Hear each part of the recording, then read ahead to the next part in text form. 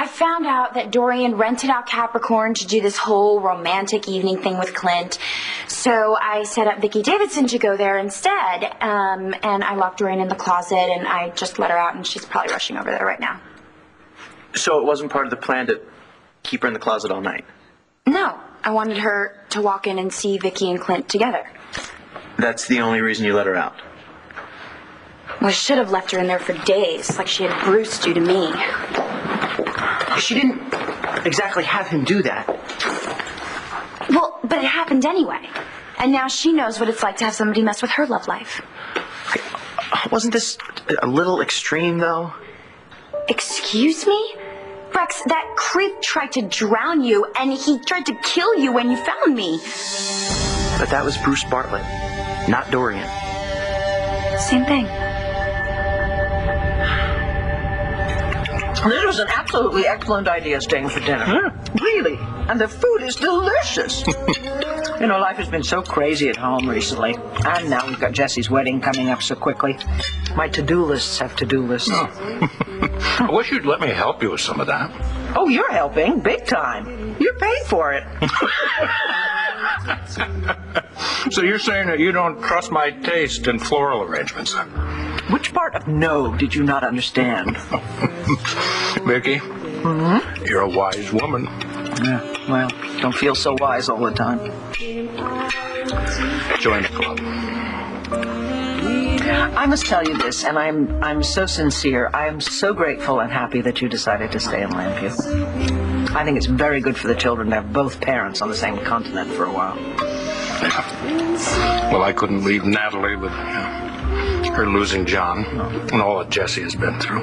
Kelly's baby's on the way. And of course, there was Dorian. There is no Dorian. So, here's to dodging that bullet. I'll drink to that. Hmm. Of course, I'm going to wish that it's me and Tess getting married. But it's not, and there's nothing I can do about that. Do you mean that? Tess isn't coming back.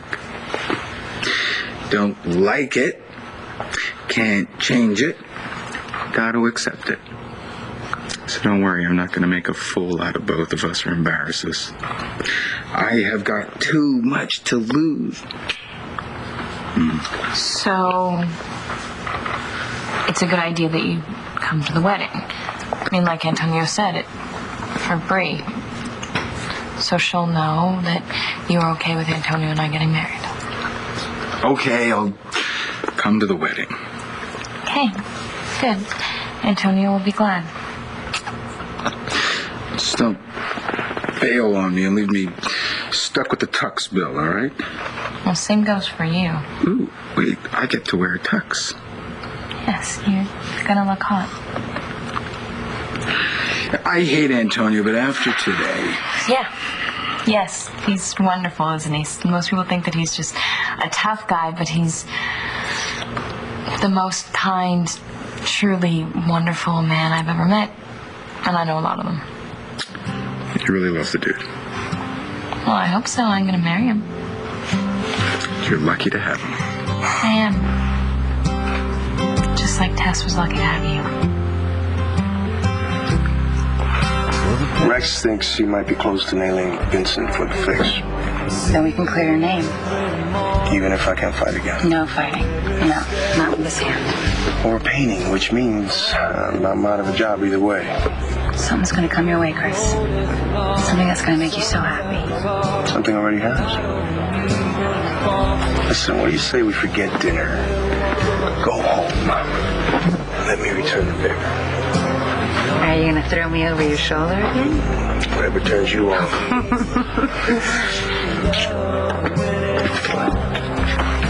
I'm not worried, That your fiance is alone with the father of her child? Claudia.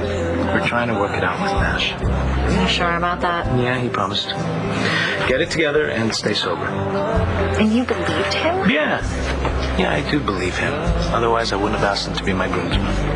Are you kidding me? What? He, he thought it was weird too, but then he rethought it. Wait, uh, so Nash is going to be in your bridal party? Yeah, it looks that way.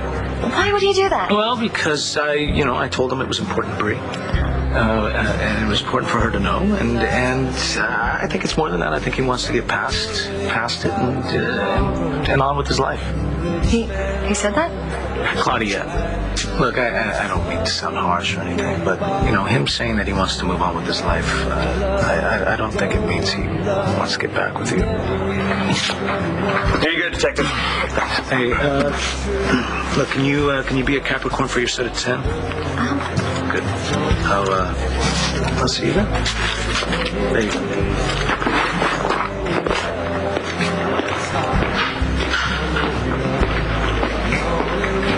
Can I get you something? Vodka. Rocks. And make it the good stuff. The issue of Dr. Truman's parentage never came up when Miss Buchanan visited him, and he vehemently denied ever having abandoned Dr. Truman's mother. But how did he explain it? Made it sound as though they broke up and went their separate ways, though he did make one surprising revelation. What was it? That this woman, Emma Bradley, was one of the great loves of his life. He said that? Not only that, he stared at her photograph all the way home in the car. He has a photograph of her? Yes. David Vickers claims his brother broke into the lodge on New Year's Eve and left it there. All right, hey, thanks, Nigel. And uh, when you go back upstairs with Pa, don't mention any of this to him, okay? Just tell him that uh, Spencer Truman was held over for a trial, all right? Very good, sir. New Year's Eve. You know, that's the night that Pa collapsed. And that's the same night you got that virus. Yeah, that Truman gave me. And the guy's got it in for us, you could say that much. I mean, it makes you wonder if his whole story's really true. Uh, well, we'll find out. We got to talk to Pa about this, but I think we should wait until Clint gets back. I just can't believe what he's done to all of you. What, you too? I mean, why should I be surprised? Just when I think I've seen it all from him, he comes up with something else. Each thing worse than the last. Haven't you learned, Manning, by now that nothing, nothing you could possibly say or do matters to me, not in the least? Hmm. Everybody's got a weak spot, Spencer. You know what I'm gonna do? I'm gonna hire somebody to come in here and beat you up. I got a better idea. Why don't you just wait till I get out of here? Then you can try to do it yourself. Sounds wonderful. But right now, I'm more interested in finding my kid. I can't help you. Then I sure hope God helps you. Because you're not getting out of this, Spencer.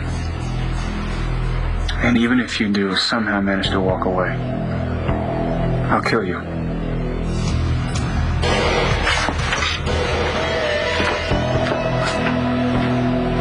And if he doesn't, I will.